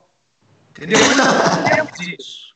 Não, mas era verdade, Eduardo. Era, era, era, era assim. Ah, você fez isso, agora eu vou fazer pior. Ah, você- Não, hoje você vê o- uma entrevista do Gabriel Jesus, é tranquilíssima. Entendeu? Cara, o papo Gabigol, cara? Moleque centrado demais. Não, Firmino, Williams, é, é Neymar. Entendeu? Eu acho que o Neymar, o pessoal critica o Neymar pelo que ele é. Caraca, o Neymar é uma pessoa que, porra. Exatamente, entendeu? Imagina o turbilhão que é a cabeça do Neymar, eu vejo assim, andou se perdendo no período, era normal, como todo mundo. Então, essa nova geração é bem mais entendeu? De 14, 15 anos, eles são mais centrados, eles estão vindo mais para o lado do profissionalismo, até porque cada vez mais o futebol está se tornando mais profissional. A base do Brasil, nos últimos dois anos, melhorou, graças a Deus. Ela está ficando muito, muito, muito para trás. Se você for pegar os históricos dos últimos dois, três anos aí, o Brasil não estava ganhando nada. O Brasil estava jogando com a Venezuela e perdendo no Sub-15, no Sub-17. Estava perdendo para todo mundo, que é um absurdo. Só que eu estou vendo que os clubes agora começaram a modificar um pouco, estão fazendo treinamentos individualizados, a técnica individual é muito importante, você não consegue viver só de habilidade. Habilidade já acabou, o Brasil já foi habilidoso para hoje não é mais, acabou. Então tem que fazer como faz a Europa. Tem que saber chutar de direita, de esquerda, bater no peito, saber a hora de chutar, saber posicionar o corpo, tudo. Tudo. Porque os caras estão fazendo tudo isso e estão dando caneta, estão dando lençol no meio das pernas, estão fazendo gol no meio de campo, estão fazendo de tudo. E tudo é com uma grande diferença, com a técnica. E a técnica eles eles não esquecem mais e não perdem mais. A habilidade você perde se você não exercitar, você perde. Então, estamos atrás nisso também. Estamos atrás nisso também. Só que graças a Deus. Ô, ô Pedrinho, Pedrinho, Pedrinho, só fazer uma adendozinha a isso, cara. Uma coisa que me chamou muita atenção na última Copa do Mundo, Melissa, foi que se a gente pegasse aquele, aquele jogo das quartas de final e, assim, por favor, assim, entenda o que eu estou querendo dizer, não é totalmente literal o que eu vou dizer, mas você pegar o, o, a seleção belga, que é a Bélgica é do tamanho do Rio de Janeiro, e você imaginar que a Bélgica, se você olhasse ali, você deveria ter é, ela conseguiu formar uma equipe com jogadores, se não do mesmo nível, às vezes até melhor, do que o Brasil inteiro, que sempre foi um de craques.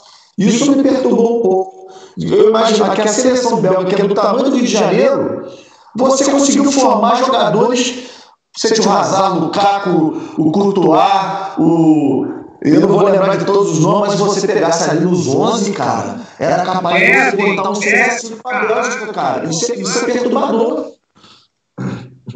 Cara, mas isso aí, Eduardo, isso aí é um trabalho de base, cara. Isso é um trabalho de base. Isso aí, eles começam com 11 anos, 10 anos, não tem, acabou. É, é, é, é o trabalho e eles melhoraram, eles cada vez eles se aperfeiçoam mais. Então a gente está indo para uma, uma situação que o Brasil está melhorando. O trabalho de base está melhorando. Isso é muito bom. Mas eu estou falando de estabilidade. Você conhece desse assunto, né? Está, ainda está, ainda não está no nível de lá, fora. Não, esquece. Entendeu? Eu estive no Atalanta, que é em Bergamo, há um, um ano atrás, mais ou menos. É impressionante.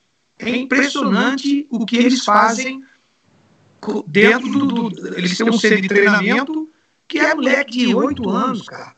Nove. E, eles, e dali começa. Então, aqui ainda não tem. Ainda, ainda é um pouco. Estava demorando. Agora, agora você vai ver. Eu vi, por exemplo, Fluminense. Tem um bom trabalho. São Paulo tem, tem um bom trabalho. Eles estão aí no mundo, tá? Exatamente. É. Mas assim, mas as, a Melissa, mas a verdade é que até um tempo atrás, o jogador estava indo fácil lá para fora, entendeu? Agora, não está indo tão, tão, porque os clubes analisam bem, tem, uma, tem, um, tem um rigor maior. O trabalho, o trabalho que os clubes europeus fazem, o Brasil não faz. Um clube, vou falar um clube qualquer, vou falar Sampdoria, tá? Para dar um exemplo. A Sampdoria, o ano inteiro, tem vários scouts percorrendo todos os países do mundo. Do mundo. Eles vão no, no mundo inteiro tem um cara vai lá, eles acompanham um jogador de 14 anos, aí daqui a pouco vai um outro lá, também faz análise, dois, três anos monitorando o jogador. Tem um banco de dados e cada hora vai um. Um sabe que o outro está avaliando, mas os critérios são os mesmos. Se aquele banco de dados subir um número X, um percentual X, os caras falam, peraí, agora nós vamos saber quem é o procurador, se o clube tem interesse. Análise de desempenho mesmo. E já não é análise de desempenho mesmo. E o scout nem sabe. O scout não sabe que são vários. Aí, de repente, o percentual chegou num nível que eles, esse já não faz mais parte da nossa, da nossa avaliação, porque está tá abaixo. Então, pô. É, é. é impressionante. Isso é surreal para o futebol brasileiro. Isso, aqui, ainda, isso é surreal. Ainda é surreal. Pedrinho.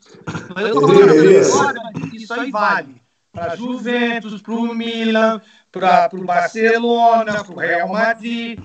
Só que esses clubes de ponta vão, espera, espera o Flamengo fazer o Vinícius Júnior e comprar, que ele se permite isso. Agora, o Atalanta tem a política de descobrir o talento. Eu vou dar um exemplo para vocês do Atalanta. Eles pegaram um jogador sueco, chama Kulusevski. No mercado de janeiro, esse jogador está ainda jogando pelo Parma, que ele foi emprestado pelo Atalanta para o Parma, para jogar a, a, primeira divisão do campeonato italiano. Esse jogador foi visto há três anos atrás na Suécia. O Atalanta, com dois, três scouts que foram lá durante seis meses acompanhar esse garoto, falaram para pegar o jogador. A operação foi 200, entre 300 e 400 mil euros. Ok? Estou falando de três anos atrás. A Juventus comprou esse jogador no mercado de janeiro agora. Esse jogador não chegou a jogar no, no Atalanta por 40 milhões de euros. Jesus. Isso é trabalho profissional. 40 milhões. Não, profissional, eficiente e se não for dessa forma, vai ficar para trás, né, Pedrinho? Exatamente, exatamente. Então, é um mundo diferente, entendeu? É um, é um outro, é um outro. Nós temos uma coisa que eles não têm. Nós temos a qualidade do, do, do, do jogador. Você encontra É, você vai achar. Isso, isso eu sempre fiz. Eu faço pesquisas no Brasil inteiro. Eu vou no Espírito Santo. Eu, eu não. Eu tenho scouts que vou lá ver, porque eu não entendo nada. Se eu ver 22 moleques, garoto correndo lá, eu vou achar aquele que deu um chapéu que é bom. Mas o cara, às vezes, o cara, o cara que tocou uma vez na bola, o cara falou, opa, esse garoto aqui, acho que ele tem que dar uma olhada melhor nele. Tocou uma vez porque eles sabem, eles têm o olho, eles têm coisa que eu, eu não tenho olho para isso. Eu tenho, ah, vai ver o jogador tal. Ó, claro que isso eu vou saber fazer. Não, esse jogador é assim, assim, assim, pode melhorar nisso, nisso, nisso. E beleza, eu posso dar uma avaliação. Agora eu ir lá, faz uma peneira e bota 11 de cada lado, o que, que você achou? Nada. Um, um, aquele que deu um lençol. Você vai perguntar para um cara desse de que fez o. E é 20 minutos, Melissa, de treinamento, de peneira. 20. Ah. Se eu perguntar para o cara do lateral direito ao atacante, ele vai falar de todos. Como que ele fez, como que ele fez, como que ele atuou em 20 minutos. Então, tem um lado que se no Brasil foi explorado e você vê, o Edu quer falar, mas rapidinho, você vê a questão até das contusões, está diminuindo o número daquelas contusões terríveis, tenebrosas que a gente via, né? Porque a técnica está substituindo, o futebol está com muito critério. Se o Brasil apontou. Você vê o Ganso é um ótimo exemplo, né? Ganso, depois da contusão dele. Isso, você tocou num ponto foi maravilhoso. Porque você, você, você diminui, você diminui o contato, porque você na hora que o cara vai chegar, a bola já não está mais lá. É, hoje um exemplo, eu vejo muito Flamengo, essa é uma característica muito legal do Flamengo, é que quando o cara chega, a bola já não está mais lá, já está em outro lugar. Beleza? Beleza? jogando, a Rafinha tá jogando uma bola, o cara, ele já veio pra cá, já jogando o Gerson. O Gerson. O Gerson. Daqui a pouco. O Gerson, verdade, o Gerson. Você falou bem, Eduardo, o Gerson. Só que o Gerson ficou dois anos na Europa e não se adaptou ao futebol europeu. Essa é a realidade. O Gerson não se adaptou. Ele agora aqui se destacou. Ele até começou com um destaquezinho, né? Não, mas ele não evoluiu. Claro que, ele, claro que os caras querem lá. Ele não evoluiu o esperado. Mas o, o, o pouco que ele evoluiu foi bastante para a volta dele para o Brasil. Sim. Muito, foi uma diferença. Então, já o Rafinha ficou anos né, no, no, Bayern de Munique em alto nível, né? E voltou bem para o Brasil, né? Perfeito, perfeito. Com 34 anos, né? Quer dizer, ele, ele veio mais para acabar a carreira. Mas vai acabar o nível. Ele é para queimar. Porra, ele joga até 40 aqui no Brasil. Pô. É, é, é esse, ele já, ele já faz parte desse novo futebol, né? Exatamente. É. Beleza, Pedrinho, beleza. Deixa eu falar uma coisinha com vocês. Deixa eu falar uma coisinha com vocês. Eu queria muito agradecer vocês. Vou pedir uma palavrinha final, uma consideraçãozinha final de cada um. E quero deixar o convite para a gente fazer novamente. Gostaria que a Melissa participasse novamente, que o Pedrinho participasse novamente, numa ocasião mais para frente, quem sabe até presencialmente, né, acabando esse, esse problema todo, que a gente não quer falar o nome. Mas eu estou muito assim satisfeito, feliz demais que vocês terem aceitado o nosso convite. Assim, eu estou saindo daqui hoje assim, uma satisfação, uma realização muito agradável. Então eu gostaria muito mesmo de agradecer a vocês. Vou primeiro às damas, tudo bem, Pedrinho? Melissa, Deus te proteja, muito obrigado. Me responde o seguinte: Vai torcer pro Fluminense ou pro Flamengo hoje? Vou torcer pro Botafogo sempre. Não, Obrigado, Melissa. Obrigado, cara. Não, então, ah, então, então assim. como o Botafogo está fechado com o Fluminense, tem que torcer Fluminense. É, não, não. Mas eu vou falar uma coisa para vocês. Eu sou, eu, isso é muito legal desde a época do esporte interativo. A gente sempre se posicionou. Eu acho eu sou Botafogo, mas não me dá, não me tira nenhum momento a capacidade de pô, elogiar um baita jogador, um baita jogo. Agora, sobre o jogo de hoje, eu vou torcer pro Fluminense, sabe por quê? Porque o Flamengo está muito acima. Eu estou com medo do Fluminense tomar uma goleada. A verdade é essa. Eu estou querendo um equilíbrio. Eu não quero que o Fluminense seja desmoralizado. É, eu torço para o futebol brasileiro. Eu torci o Flamengo. Ah, Flamengo. Tô pô, naquela bola, Pedrinho. Como eu torceria pro Vasco da Gama, como eu torceria pro Fluminense. A gente brinca, a gente segue o Flamengo, claro, sou Botafogo, vou morrer Botafogo. Muito orgulho, eu amo meu time. Mas eu torço muito futebol brasileiro. Torço mesmo, sabe? Isso é o nosso Desculpa, Agora, mas...